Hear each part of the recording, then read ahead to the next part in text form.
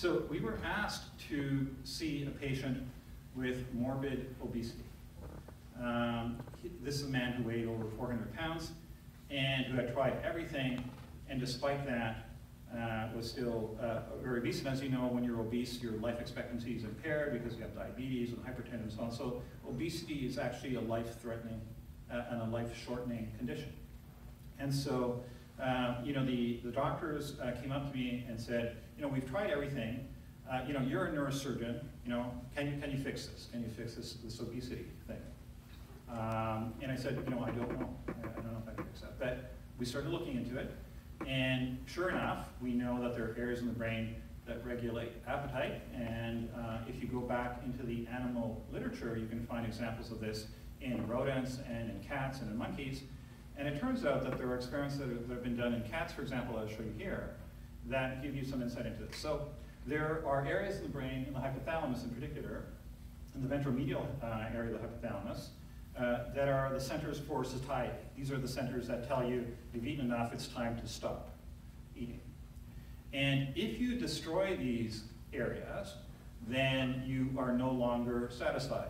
And you just keep on eating and eating until you end up looking something like, like this cat over here on the left, right?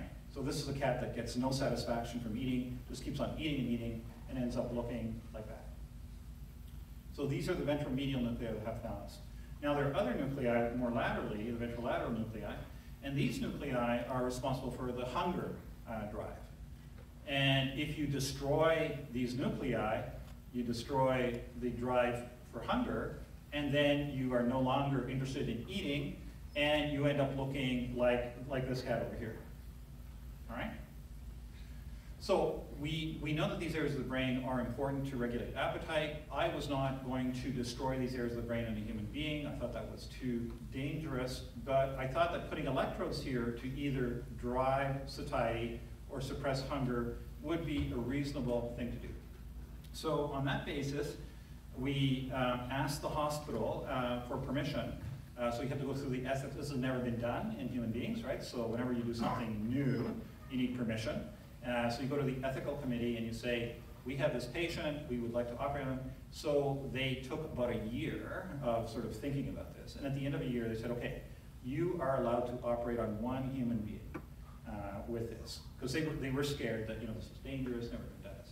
So, okay, fine, sure enough. We, we, so what we decided to do is to bring this patient into the operating room and to place electrodes in his hypothalamus and uh, to see if we could find an area in his hypothalamus where we could diminish his appetite.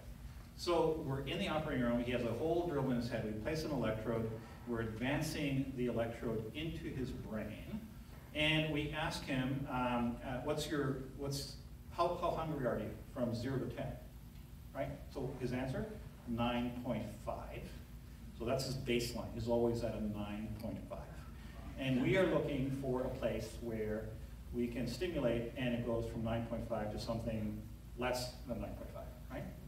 So we're advancing the electrode, we turn it on, and the first place that we go, we stimulate and turn it on, and he says, I'm 20 years old. What? He says, yeah, I'm 20 years old. What do you, what do you mean you're 20 years old? He says, I just feel like I'm 20 years old. So we turn it off, it goes away.